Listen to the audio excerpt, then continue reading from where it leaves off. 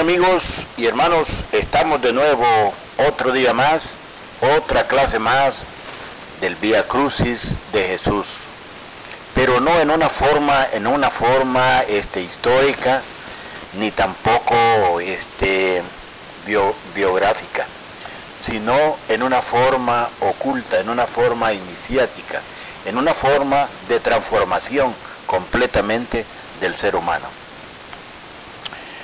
tenemos una pantalla, vamos ya por la cuarta,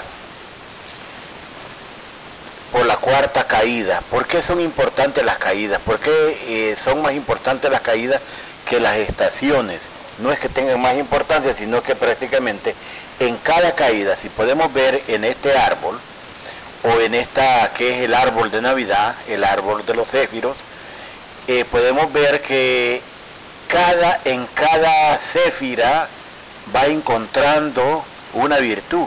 Es como aquellos jueguitos de los niños de que ponen y cada, en cada lugar va encontrando una, una fuerza y va agarrando más fuerza y va agarrando más fuerza y va agarrando más fuerza. En cada céfira hay una virtud, pero para pasarla tiene que pasar y tiene que descubrir esa virtud mientras no la pasa. O sea, prácticamente cada céfira tiene sus limitaciones y sus ventajas.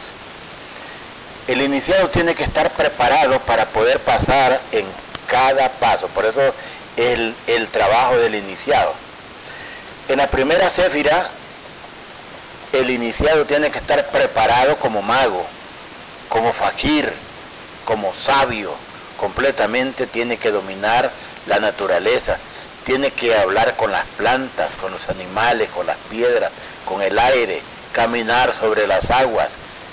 Y en la segunda tiene que doblegar esa parte del cuerpo vital, tiene que ser completamente una persona, completamente maestro, por eso se le llama maestro en la primera caída, donde empezamos con la primera caída, que el cuerpo vital es Yesod, es cuando es la vitalidad donde vamos a cambiar toda nuestra, donde hacemos el trabajo del cambio de toda la información que nosotros tenemos, con nuestras aguas puras de vida. Yesod eh, está reflejado lo que son los órganos, los órganos genitales de un ser humano. Pero también el universo tiene pertenece a esa parte. O sea, nosotros somos un micro universo. Pero vamos a hablar un poco de las caídas. Quise recapitular esa parte para poder agarrar el hilo. Ahora vamos a entrar en lo que es el hot, que son, ahí empiezan las caídas. Porque en hot tiene que despertar el cuerpo astral, tiene que estar consciente en cuatro dimensiones, tiene que manejar el tiempo, entonces, por esa parte, es que si no la maneja, si no pasa, no puede pasar. Aquí no pasan los que tienen sueños lúcidos, aquí pasan el que tiene cuerpo astral despierto. Eso es parte. Después pasamos lo que es eh, en Nesad, donde, donde se despierta lo que es la mente, lo que es el cuerpo causal. Y eso se le llama los cuatro cuerpos de pecado. Después pasamos para Tiferet, donde despertamos esa parte aquí. En Nesat, que es la mente, la estación número 4. Aquí tenemos que despertar la mente, la mente superior, porque tenemos una mente inferior, mente que puede ser manejada con todas las programaciones, pero esa mente que despertamos allí es la que recibe los mensajes directamente de lo alto, es la madre dentro de nosotros. Por eso es que ahí ve Jesús a su madre. Después este, pasamos a lo que es Tiferet, donde vemos esa parte, esa intuición que nosotros tenemos, que siempre sabemos que vamos en buen camino, que tenemos esa ayuda, que hay alguien que está detrás de nosotros que nos está echando la mano. Ese es el sirineo, la ayuda que recibe el Cristo en cargar la cruz pesada.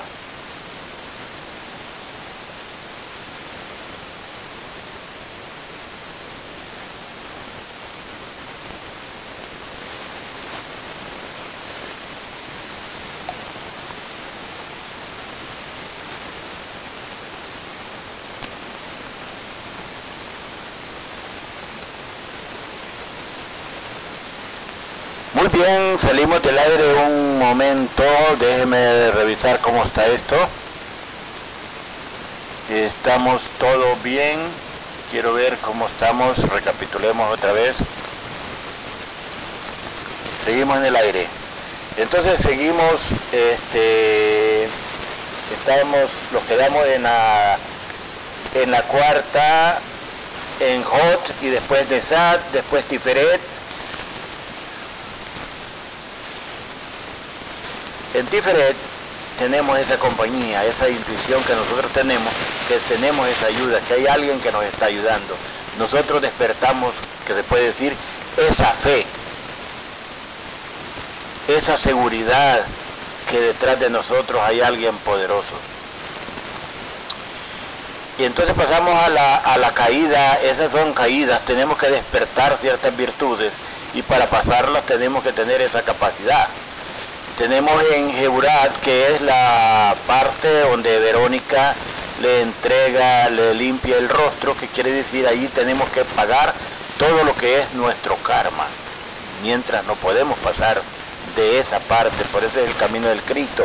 Por eso es importante que estoy recapitulando lo que son las caídas de Jeburat, que es la donde, donde los quedamos en la clase pasada, ahora pasamos a lo que es Cheset, la cuarta.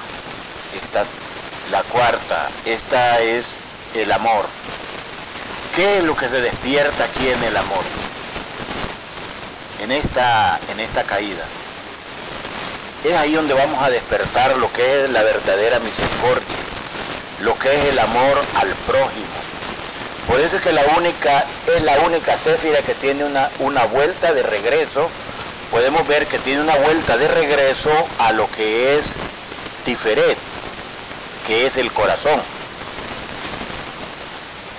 Y después tenemos que esa de Tiferet pasa a lo que es Binah, que es el entendimiento. Entonces en esa parte, ahí es donde tenemos lo que es lo que se llama misericordia. Por eso dice, amor es ley, pero amor consciente. Amor es ley, pero amor consciente. Eso ahí estamos despertando. O sea que estamos, estamos viendo esta, estas caídas, que es lo más importante, las caídas, porque en cada céfira nosotros vamos despertando y vamos desarrollando una capacidad. Por eso es que en cada esfera tiene una caída. Es cuando el iniciado en cada esfera que si no despierta no tiene esa facultad, no tiene ese derecho de poder pasar a otra, no pasa. Por eso se llaman caídas. Por eso es que el Cristo se caía eh, con la cruz al hombro. Es por eso de que este, lo más importante las estaciones, son 14 estaciones del Vía Crucis y 7 caídas. Ahorita vamos por la cuarta caída, que es Cheset, es donde se despierta el amor. Pero de la, de, la ley, que es Verónica, pasa a lo que es Cheset, la estación de Cheset, donde tiene una caída, que es el amor. Es donde vamos a, a desprendernos de todo lo que nosotros, de todo lo material. Completamente ahí desprendemos toda esa toda esa parte porque ya no tenemos ego, ya hemos dejado completamente lo que es lo material. Ahí despertamos la verdadera caridad universal. La verdadera caridad universal. Porque nosotros podemos tener caridad, podemos creerlos muy, muy bondadosos, muy buenos, dar ayudas a las personas, pero cuál es el interés y cuál es el secreto que viene detrás de esa ayuda. ¿Cuál es nuestra intención? O sea, nosotros siempre tenemos una segunda intención. No es servir, sino servirnos. A través de un servicio, si yo te doy, tú me das. Así es de fácil. La vida es un negocio y es una ley. O sea, son los negocios divinos. Pero completamente aquí ya la persona ya comienza, el Cristo, comienza a tener desinterés completamente, desinteresado. Esto es completamente cuando la persona entra al estado de caridad universal. Es cuando Francisco de Asís se quita toda la ropa siendo hijo de un, siendo hijo de un gran millonario. Y deshace y se quita toda la ropa y queda completamente desnudo. Como Dios lo trajo al mundo. Entonces es cuando empieza el verdadera, la verdadera caridad. Pero dice Amor es ley, pero amor consciente. O sea que primero tenemos que pasar por la ley, tenemos que ser sopesados, tenemos que eliminar lo que es toda esa carga, esa programación que nosotros llevamos, que se conoce como ego o como agregados psicológicos. Podríamos decir que los agregados psicológicos son nuevos. El ego es viejo, son dos son dos tipos de programación, no hay que confundir dos cosas a la vez. El ego es la programación que traemos genéticamente, que se nos da la tierra, que nos da la parte donde nosotros nacemos y vivimos, que es nuestro planeta Tierra. Esa programación la tienen todas las criaturas de la naturaleza y todas son cortadas con la misma tijera. Por ejemplo, a una gallina nadie le enseña que tiene que cuidar a los pollitos. Una perra tiene que defender a sus perritos. Es madre completamente. Una planta es parte de un programa. El programa, eso, ese programa es la programación de la tierra. Es la programación que nosotros traemos ya por en nuestro disco duro. Y, el, y los agregados psicológicos, se le llama agregados psicológicos porque son agregados, es la programación que nosotros vamos recibiendo desde que comenzamos en el vientre y todo lo que vamos recogiendo a través de nuestra existencia, nuestra vida. Esos son agregados psicológicos, porque se agregan al programa que ya está. Eso lo vamos a ver un poco más cuando estemos hablando de los cuatro jinetes del Apocalipsis. Vamos a descubrir un poco más esas cosas. Este, pero lo más interesante aquí es que tenemos dos cosas. ¿Qué es lo que fue lo que eliminó en esa parte de Hebrá en la tercera caída? Ahí se eliminó lo que es la programación terrestre completamente eliminamos toda nuestra programación. Por eso es que el rostro de Jesús es plasmado en el sudario de Verónica. Verónica es el verdugo cósmico. Es por eso que se plasma esa, e, esa fuerza, queda limpio, el rostro queda limpio, completamente queda sin programa sin apego. Por eso es que la, la cuarta caída, que es el amor, completamente, el amor desinteresado. Amor es ley, porque viene de la ley, pero amor consciente, va directamente, podemos ver la flechita, que va directamente a Tiferet, que es el corazón, es la intuición. Es cuando nosotros nos damos cuenta que hemos despertado esa intuición, nos damos cuenta que vamos bien. Esa ayuda existe, nosotros siempre la tenemos. Cuando nosotros queremos algo, hay una voz, hay una, hay una sensación de que sí lo va a ir bien, entonces tenemos esa sensación. Tenemos, hay que desarrollarla, hay que alimentarla. Eso se llama intuición, desarrollar el poder del corazón, del sentir. Pasaríamos después de Tiferet, por eso es que esta, del amor regresa otra vez a Tiferet y pasa directamente a lo que es Binat. Binat es la quinta caída.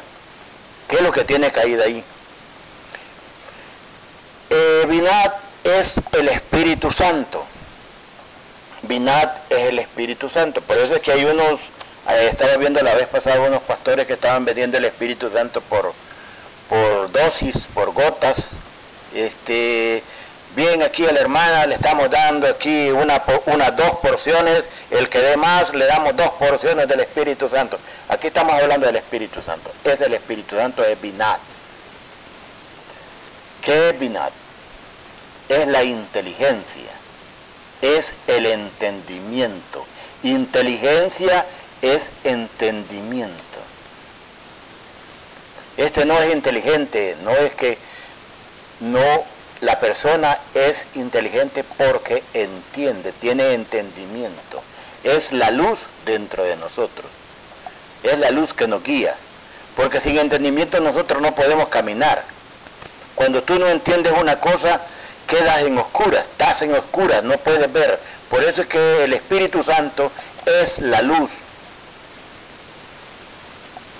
Si nosotros no entendemos un párrafo Vamos al diccionario, lo descubrimos y sentimos un gran alivio, porque hemos visto la luz, hemos visto el entendimiento.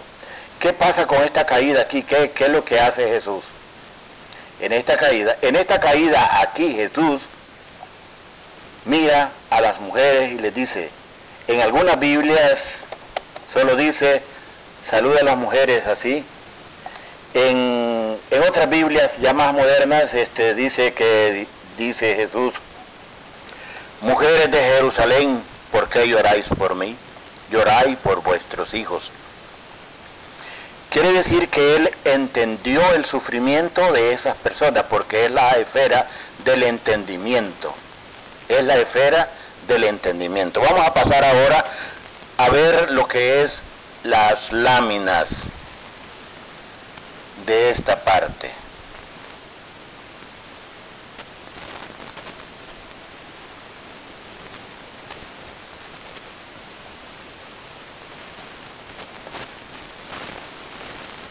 Estamos viendo aquí la lámina, bueno, no ha salido todavía, pero estamos viendo aquí la lámina de la cuarta caída, que es Cheset, cuarta caída. La séptima estación es el amor, el amor incondicional. El amor está, hemos venido cuando estábamos en las otras clases, por eso el que, que va entrando y va, eh, puede ver las clases pasadas para poder entender lo que cuando hablamos del amor. El amor está constituido por dos fuerzas, positiva y negativa. por dos fuerzas, masculina y femenina. Y de, esta, de estas dos fuerzas nace una tercera fuerza, que es el poder. Poder, por eso diríamos, amor es ley, pero amor consciente. O sea, completamente, cuando hablamos de conciencia, hablamos de responsabilidad si hablamos de conciencia, hablamos de responsabilidad. Conciencia es responsabilidad. Porque no puede ser consciente una persona que es víctima de las circunstancias. No puede ser consciente una persona que no sabe para dónde va, ni de dónde viene. No es consciente. Si vamos a despertar la conciencia y nosotros queremos despertar la conciencia y estamos buscando despertar la conciencia y predicamos despertar la conciencia, pero no somos responsables. La palabra iniciado significa iniciar. Responsabilidad significa iniciado, desconciencia. Conciencia es estar consciente en cada momento de lo que hacemos. Porque hay una parte muy importante que quiero ver en esto, es esto. Hay personas que van a la iglesia y están con golpes de pecho. O van a confesarse con el señor cura. ¿Por qué se confiesan? Porque hicieron algo inconsciente eso están confesando. Y por eso tienen una un, un remordimiento de conciencia porque están golpeándose el pecho, porque hicieron algo que hicieron mal. A eso se le conoce como error. Y Jesús tenía una palabra bien fácil para todo esto, sencilla. Sé perfecto porque mi Padre que está en el cielo es perfecto. Pero vamos a ver, ¿a dónde está la perfección? ¿Quién es el, quién es el perfecto? No, hay que, seguir, hay que seguir a Jesús.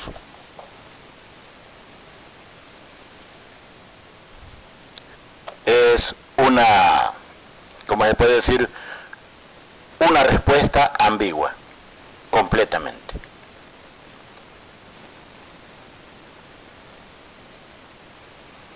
La perfección la tenemos nosotros dentro, nosotros sabemos cuando nos hemos equivocado y cuando no. Cuando nos hemos equivocado tenemos algo que se llama remordimiento, porque hemos hecho algo inconsciente. Entonces lo primero que hace el iniciado es tener conciencia, despertar conciencia, estar consciente de lo que haces, sea lo que sea, malo o bueno. Porque no existe lo malo y lo bueno fuera, todo existe malo y bueno para mí. Porque podemos ver un narcotraficante, un Paulo Escobar, puede decir, está haciendo cosas malas. Bueno, cosas malas para mí, para la vida, para la humanidad, para los niños, para todo el semejante. Pero para él estaba haciendo cosas buenas porque se estaba llenando de dinero y estaba, y estaba contemplando lo que es su ego. Entonces, ¿a dónde está lo bueno y a dónde está lo malo? Por eso se llama responsabilidad. El iniciado tiene que despertar conciencia. Es simplemente, sé perfecto porque mi Padre que está en los cielos es perfecto. Esta es la cuarta, la cuarta estación y la cuarta caída, es aquí donde nosotros tenemos que despertar la conciencia del amor incondicional. Amor incondicional. Es aquí donde entra lo que es la caridad universal. Vamos a ver otra lámina.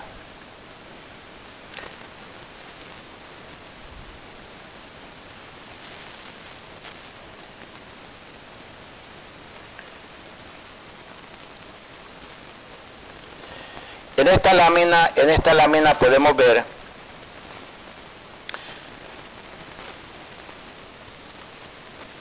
En esta lámina podemos ver este es la quinta la octava estación es la es la este Binat es la quinta la quinta caída.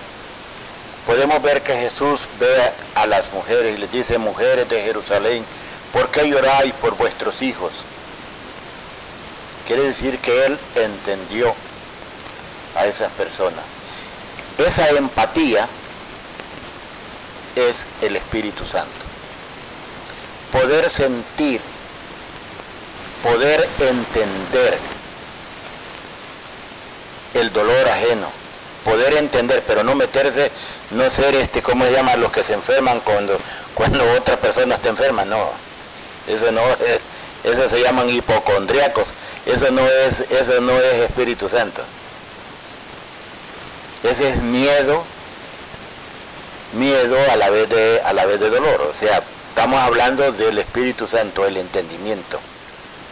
Él no estaba, él no estaba, eh, él sentía, sintió el dolor de ellas y les dijo, entendió el sufrimiento que ellas tenían y les dice, mujeres de Jerusalén, ¿por qué lloráis por mí?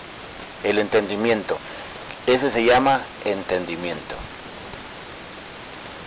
Se llama inteligencia. Inteligencia y sabiduría, dadme la corona.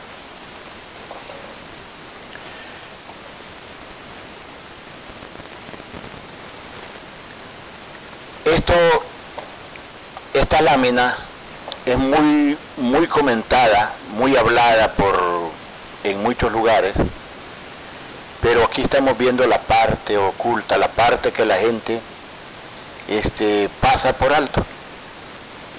Cuando entramos en esta, en esta caída, tenemos esta caída, tenemos que superar, tenemos que tener ese entendimiento, por eso debemos de pasar esa, esa,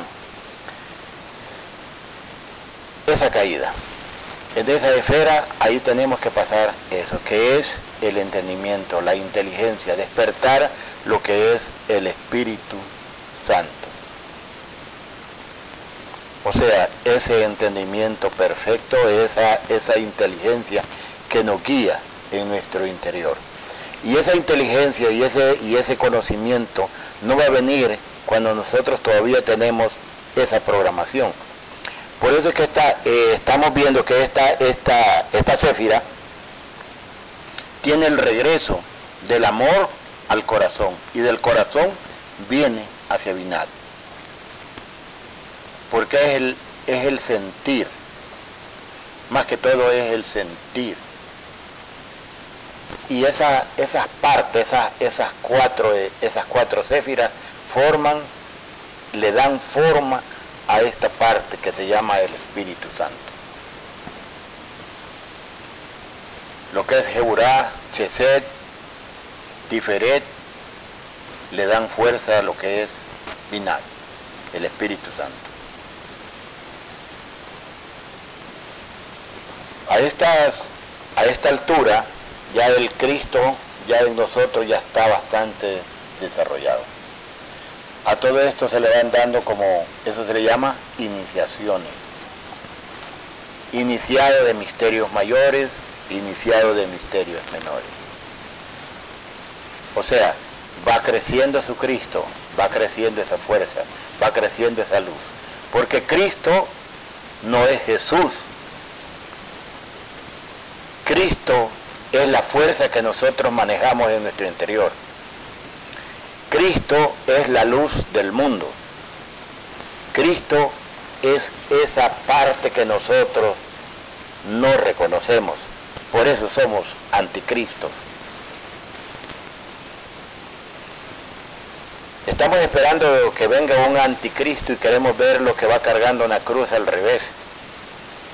Nosotros llevamos la cruz al revés. Somos anticristo porque no reconocemos esa parte que nosotros tenemos, que es el verdadero Cristo. Señores, este está pasando, estamos pasando ya este al final. Si tienen alguna pregunta, alguna inquietud, háganmela saber por medio del teléfono. Es el mismo teléfono lo que es el, el WhatsApp y también este pueden comunicarse conmigo o mandar un mensaje por el Messenger, se los contesto. Muchas gracias. El próximo viernes vamos a estar a las 12 del día con las otras dos céfiras que son Chomat y Keter. Entonces vamos a entrar a la parte de aquí, quedamos en esto, creo que queda entendido, vamos a seguir con esta crucifixión, con el camino del Cristo. Hasta pronto, se despide de ustedes Oscar Jiménez.